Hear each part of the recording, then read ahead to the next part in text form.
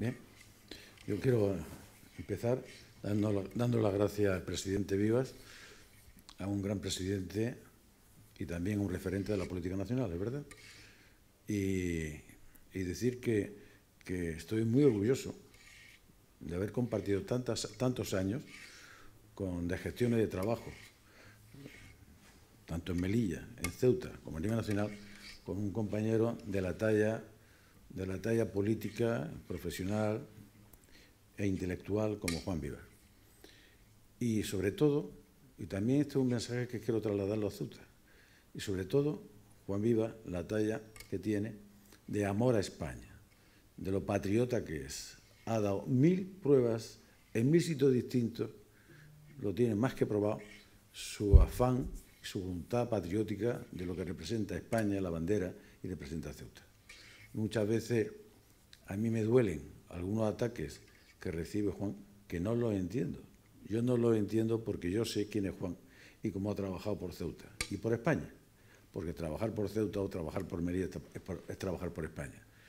Y yo te digo, querido presidente, que yo también me siento ofendido cuando a ti te ofenden y te dices que tú eres por marroquí, pero de una manera despectiva. Yo también me siento ofendido cada vez que te lo dicen, porque es de una injusticia y de una talla monumental la barbaridad y la gran mentira que se hizo con eso. Nosotros desde Melilla, ya lo dijimos, desde Melilla sabemos que lo que le pasa a Ceuta le pasa a Melilla. Son dos barcos que van a la misma dirección. Son casi 180.000 españoles entre las dos ciudades, casi 180.000 españoles. La Rioja tiene, muchas veces hemos hablado, tiene 300.000. O sea que es una potencia demográfica importante la que tenemos allí y que además son, estamos en un momentos, estamos en unos momentos que, que la duda, la zozobra, la incertidumbre, la, desconfianza es lo peor que nos puede pasar a María Ceuta, donde estamos. Estaríamos hablando de otra manera si estuviésemos aquí en Málaga, o estuviésemos en Albacete o en Cuenca, pero estamos allí, desgraciadamente, lejos, lejos físicamente de, la península, del resto de España, pero muy cerca, muy cerca, o más cerca que nadie, de lo que es sentir, España. Este trabajo que se ha hecho, este plan que también ha desmenuzado Juan, que no voy a entrar, que también lo ha desmenuzado, bueno, pues significa el no, un punto de arranque de nuevo para que no nos coja el toro como nos ha cogido.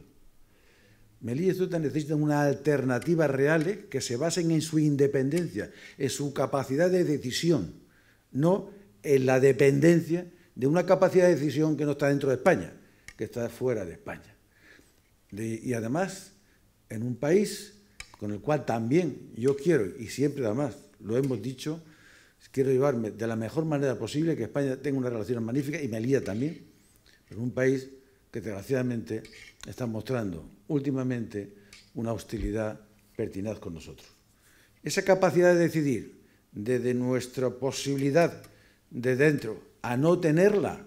Eso, eso, es, eso es un riesgo que estamos soportando que es enorme. De ahí viene la desmoralización, la desconfianza, la huida, el me voy. De ahí viene todo esto. Y eso sería el fin.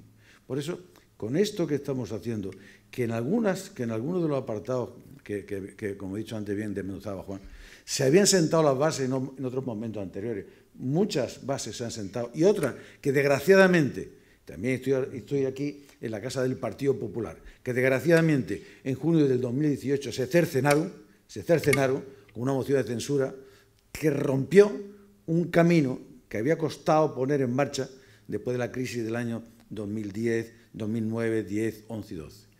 desafortunadamente, eso fue un parón para España, como se está viendo, y por supuesto para Ceuta y Melilla. Muchas de esas cosas están aquí y hay que revitalizarlas.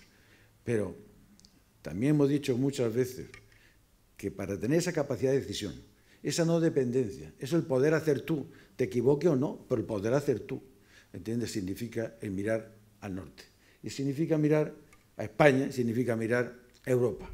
Y gracias a Europa, que nos ha respondido perfectamente en esta crisis y que han demostrado, los grandes partidos que manejan, que, que gobiernan Europa, han demostrado que cuentan con Ceuta y Melilla como realmente fronteras y, zonas y regiones específicas de Europa. Eso ha sido algo muy importante, muy positivo para nosotros. Nos da pie a que, a que podamos soñar, a que podamos trabajar y seguir caminando. Nos da pie a eso. Afortunadamente, vamos a explotarlo, vamos a por ello. Pero esa independencia, esa capacidad de decisión.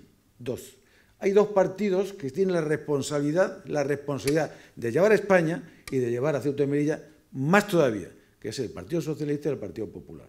Son los dos partidos de alternancia de poderes los que han estado gobernando desde la transición del año 78 y que son los que tienen que ponerse de acuerdo y tienen que estar de acuerdo en que estas son dos ciudades con razones de Estado poderosas que, que necesitan una atención especial pero no una atención muy voluminosa en cuantía, en conceptos, en dinero, en euros. ¿Qué va? Estamos hablando de, unos pies de 4.000 millones de euros entre los dos, más o menos. Estamos hablando de, voluntad de decisión de ayudar, con poco que se haga, que aquí viene bien reflejado en este libro, con poco que se haga, Melilla y Ceuta, Melilla, tiene un futuro esplendoroso por delante. Pero se lo tienen que creer. El Partido Socialista tiene que creer en ello, porque el Partido Popular ya cree en ello. Son buenas las palabras de, del presidente Sánchez cuando, fueron cuando fue a Ceuta. Son buenas. Espero que eso no se quede en agua de borraja y que realmente acompañe a las que ya Pablo Casado dijo en Ceuta cuando de, cuando de alguna manera pues enunció este libro, enunció estos acuerdos como firmó, las partes que tenían que tocar el gobierno de España para que Ceuta y Melilla arrancaran y no estuviéramos sujetos a esa dependencia y esos vaivenes hostiles como, como, como habéis sufrido vosotros. Así que independencia, acuerdo nacional, apoyo nacional y, por supuesto, diálogo. Y, por supuesto, diálogo en otro sentido, el nuestro, en el interior, el que tenemos que hacer con todas las fuerzas sociales, políticas y económicas. Claro que hay que dialogar, claro que hay que dialogar. Pero siempre, por supuesto, elevándonos un poco y pensando en el bien común de todos, en lo que es la patria, la soberanía, la bandera, los que ya no están y los que tienen que venir. Y ese camino tenemos que hacerlo convenciendo cuando veamos que, están ahí equivocación o aceptando las propuestas que nos den que también pensemos que son buenas. Así que libertad, acuerdo nacional, razón de Estado y además diálogo. Y por supuesto también, claro, vamos a llevarnos bien con Marruecos, si nosotros nunca hemos querido llevarnos mal con Marruecos. ¿Qué hemos hecho nosotros? Lo que no podemos es quitarle a Marruecos de la cabeza, o a algunos, que estas dos ciudades, Ceuta y Melilla, son marroquíes. Ellos que piensen lo que, lo que quieran, pero lo importante es que España y todo, y Europa, como se ha demostrado, sepamos, porque además, por mil razones distintas, que estamos hablando de España, que son dos ciudades constitucionalmente dentro de la unidad española 100%, y que por, por historia, por derecho, por todo, por sentimientos, por todo, van a seguir siendo españolas siempre. Pero tenemos que ayudarlas. Tenemos que ayudarlas con un acuerdo nacional con esta base que hemos planteado aquí y con ese caminar que tenemos que llevar, que empezamos a llevar Ceuta hace 20 años. Así que tenemos que trabajar mucho para convencer, pero sobre todo para que el Partido Socialista, el Partido Socialista, que es el que yo apelo aquí, realmente aquello que dijo Pedro Sánchez se lo crea y se pongan mano a la obra, que no, no nos interesan ni, ni son buenos los inmovilismos, una, postura inmovilista ante una situación completamente nueva, ante una situación que no es halagüeña el futuro y que no es libre y no, tenemos capacidad de decisión, eh, esto tenemos que, tenemos que contemplarlo y tenemos que decir, ustedes no sean ustedes inmovilistas. Si son ustedes inmovilistas, ustedes no son patriotas, ustedes están, usted dañando notablemente al porvenir y a la españolidad de Ceuta y Melilla. No nos interesan los inmovilistas. Tampoco nos interesan los que no vamos a enfadar a Marruecos. Algunos piensan que si no se enfada Marruecos, pero ¿cómo no se enfada Marruecos? ¿Me quiere usted decir cómo se enfada? si nosotros queremos una frontera que sea europea, como ha dicho Juan Viva, europea que sea ordenada, que, realmente sirva para los intereses de las dos partes, que queremos estar en la Unión Aduanera, pues porque va a tener un desarrollo económico y social que, vamos a alcanzar mejor, creemos, y que además seamos región ultraperiférica europea para que vayamos mejor para que se, cree prosperidad y riqueza en Melilla y Ceuta. Y si se crea riqueza y prosperidad en Melilla y Ceuta, seguro que los vecinos al lado se aprovecharán y mejorarán. ¿Cómo que vamos, no, le vayamos a fastidiar a Marruecos? Mire usted, hay que tener cuidado. ¿Cómo es esto?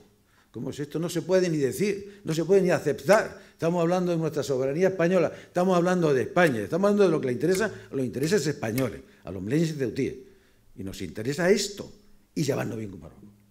Y ya está, y hay que hablar, y hay que, y hay que mm, mm, no por esto, no con esto estamos provocando alguna situación anómala, no, pero, pero también quiero decir que en ese, en ese movilismo que yo hablaba antes, si alguien se cree que esto va a ser igual, que en el año 90, en 2005, 2010, 2015, está equivocado. Está equivocado y no puede estar al albur de una decisión de cualquier pataleta o cualquier interés estratégico que tenga otra nación con respecto a nosotros. Mire usted, nosotros somos, débiles. Y me dice usted tiene que estar anclada, bien anclada, y, y hay que anclarla. ¿Cómo vamos a dejarla seguir siendo débiles? ¿Qué gana usted?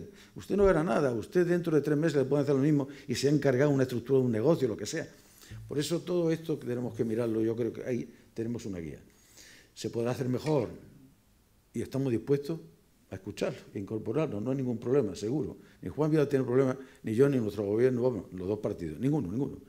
Lo que se nos planteen encima de la mesa que sea mejor, pues chapó y bienvenido sea. Así que, patriotismo, libertad, capacidad de decisión, razón de Estado, futuro, y confianza, y sobre todo mucha confianza. Y decirle a los melienses de Utí, que yo lo decía él también, que esto tiene arreglo, que esto tiene arreglo. Y tiene arreglo, y tenemos que luchar porque tiene arreglo, pero que no nos desmoralicemos, que tiene arreglo. Que tampoco, y tampoco, y pido también, y pido, nos, nos tenemos que autoexigir nosotros mismos, Juan, y tenemos que exigirlo a los demás, que esto no sea una flor de un día, ni una foto bonita. Esto tiene que ser ponerse a trabajar a y martillo, a y martillo, pero rápidamente. Eso tiene plazos, esto tiene plazos. Porque si no hay plazos, entonces nos moriríamos también en el éxito, en, la orilla nos moriríamos. Así que nada más. Yo, gracias Juan por tus palabras, gracias compañeros de Ceuta, gracias compañero senador, gobierno de Ceuta, lo estáis haciendo perfectamente, estáis haciendo perfectamente. Estamos en una casa en Málaga del Partido Popular que yo le agradezco muchísimo que nos la hayan dejado en nuestra casa, Juan, en nuestra casa, en la casa del Partido Popular, el primer partido de España, el primer partido de Europa, joder, y el, partido que siempre ha ganado elecciones en Ceuta y Melilla, siempre, y las vamos a seguir ganando, para, por, en beneficio de los melillenses ceutíes. Y lo último, y yo no hablo más, esto que estamos proponiendo, todas estas cosas, son para todos, para todos, sin distinción, sin excepción, ni religión, ni cultura, ni nada esto es para belillenses de Utiel. Recen como recen y voten como voten. Nada más, bueno, sí, gracias.